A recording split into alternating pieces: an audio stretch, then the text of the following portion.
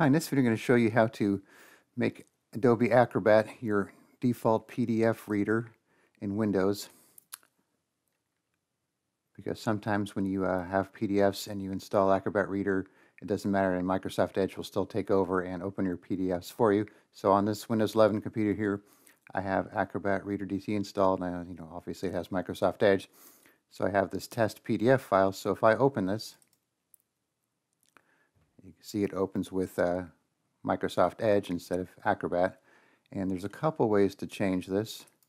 Uh, the easiest way, but it doesn't always work, is to uh, right click on the PDF or any PDF file, do open with, and then click choose another app, check Adobe Acrobat, and then check this box that says always using this to open PDF files and click OK and that should work, but sometimes it kind of reverts back. So another way you might want to check as you go, actually, before we do that, you could see Microsoft Edge is the app for PDFs right now.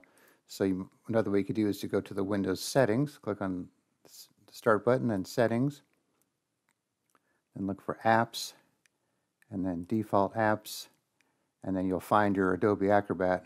And so if you click on that, you could see it's the default for FDF and these PDF and XML and PDX so on. But for PDFs, it says it's Microsoft Edge. So we'll just click on this guy here. And it says before you switch, you want to check out Edge, and we don't. We want to switch anyways. And then it brings you to the same list here.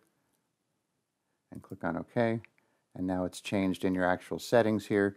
So if we go out, let's see if we go back in, if it sticks.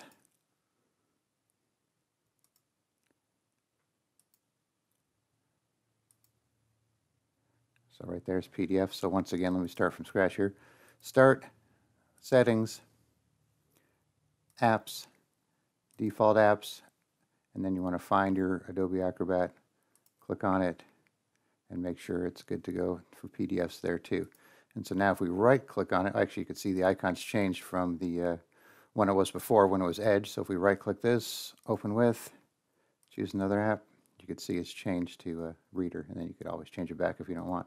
And so now if we open it, it's opening with Acrobat Reader. And everything's good to go. So uh, if you're having a problem with Edge taking over your PDFs, give that a try. I've seen it before where sometimes it reverts back, you know, a week or so later. Don't don't know why that is. It's just something with Edge just takes over again, so you might have to do this process again and keep fighting it. So uh, hopefully that's not the case with you. So give it a shot and hopefully it works out for you. All right. Thanks for watching and be sure to subscribe.